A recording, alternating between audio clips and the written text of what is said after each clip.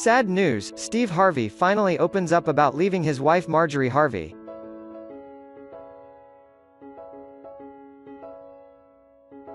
Steve Harvey and wife Marjorie Harvey are on the brink of divorce, according to a new report from Radar Online. The report claims that Steve Harvey has been quietly selling off his assets, as he's preparing to pay his wife Marjorie a whopping divorce settlement. Marjorie would never allow herself to be pushed around. Money talks, and her man had better provide.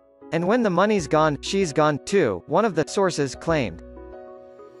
While the article seems to indicate that there's major turmoil between the couple, Marjorie's Instagram tells a different story. Just two days ago, Marjorie posted a photo of the couple having a barbecue party at their home. If you ask us, they look pretty darn happy manning the grill together. This isn't the first time Steve and Marjorie have been up against divorce rumors.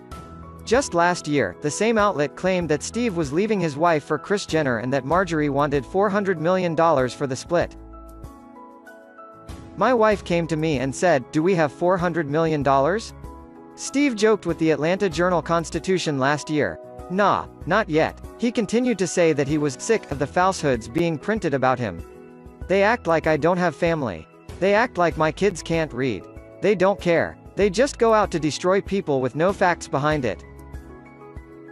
Meanwhile, Ruth Littrell, the sister of Harvey's second wife, Mary Shackelford, previously noted that his third marriage will also be an epic fail, stating, Marjorie will end up divorcing him and taking him for everything he's got. Thanks for watching like share and subscribe for more.